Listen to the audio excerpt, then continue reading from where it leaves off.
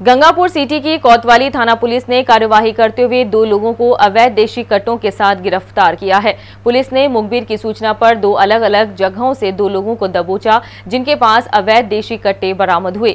Taxi निवासी दिलीप खान को loco colony और छावा निवासी आरोपी देवी प्रकाश और कपिल शर्मा को छावा रोड, गंगापुर सिटी से गिरफ़्तार किया गया। पुलिस द्वारा दोनों आरोपियों के खिलाफ आर्म्स एक्ट में मामला दर्ज कर जाँच शुरू कर दी है। साथ ही पुलिस अवैध हथियारों को लेकर दोनों आरोपियों से पूछताछ करने में जुटी हुई है।